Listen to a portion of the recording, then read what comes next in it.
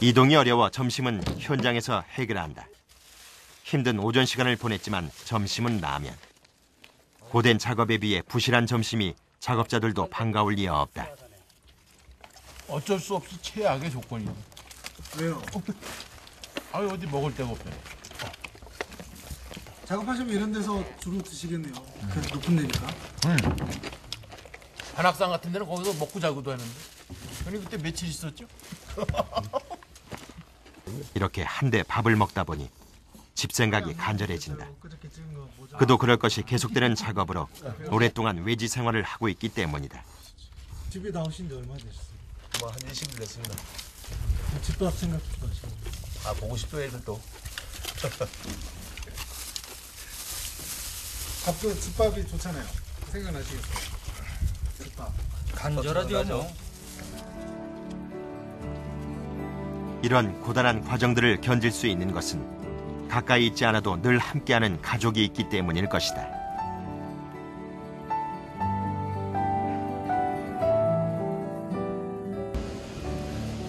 오전에 새로 낀 장갑이 어느새 까맣게 변했다. 쉬고 싶을 만도 한데 이들의 머릿속엔 오직 한 가지 생각뿐이다.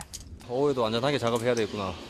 동료들 안 다치고 저도 안 다치고 안전하게 작업해야 되겠구나. 그런 생각으로 작업에 임합니다. 오전에 철거한 안테나를 해체한다. 나사를 푸는 작업을 반복하다 보면 손 전체가 뻐근해진다. 이 조립식이라 다 볼트로 해가지고 안테나 해체의 전 과정 역시 수작업의 연속. 하지만 옆면 나사를 다 제거하면 해체는 순식간이다.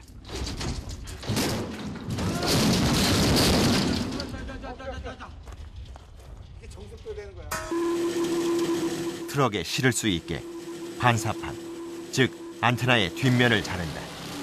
두께가 워낙 두꺼워 작업이 쉽지 않다. 결국 톱날이 휘어버렸다. 계속 작업해야 하는데 막막해진다. 손으로 톱날을 펴보지만 복구는 어려워 보인다. 하지만 작업을 멈출 수는 없다.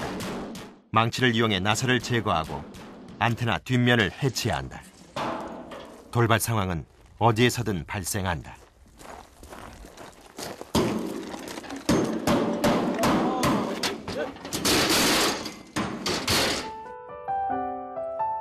하루가 저물고 있다.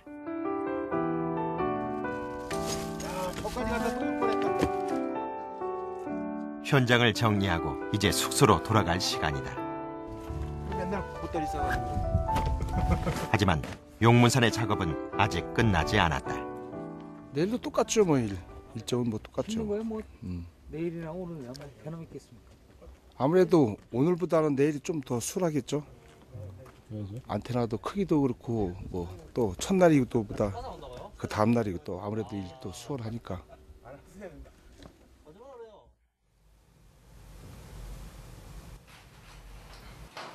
피곤할 법도 하지만 땀을 많이 흘리는 일을 하다 보니 빨래를 잊지 않는다. 외지 생활을 많이 해서인지 이런 일들에 능숙한 편. 빨래를 말리는데 노하우가 있을 정도다. 양말은 테레비 위에가 제일 잘 맞네.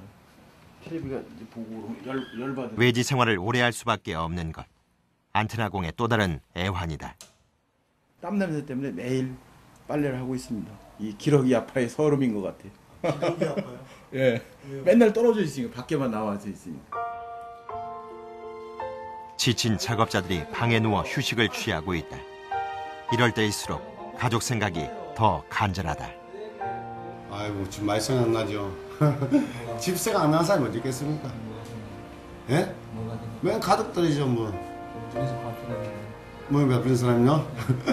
다 똑같지 뭐 부모님도 생각나고 집 처자식도 뭐 생각나고 그런 거지 뭐. 뭐 저뿐만 아니라 다뭐 처자식 생각나고 뭐 부모님 생각나고 보고 싶고 그러죠. 다행인 것은 오랜 시간 함께한 동료가 있다는 것. 이들에게 동료는 또 하나의 가족이다. 고단했던 하루가 끝나간다. 아침이면 다시 열띤 작업이 시작될 것이다. 용문산의 아침이 밝아온다. 이제 곧 이곳은 적막한 한가로움이 아닌 작업자들의 열기가 가득 찰 것이다. 안테나 팀이 현장에 도착했다. 철탑에 오를 공구인가 했더니 작업자들이 꺼낸 것은 놀랍게도 빨래다. 아, 그 뭐예요? 네, 어제 저녁에 빨래 놓은 게 안 말라갖고 예. 여기다 지금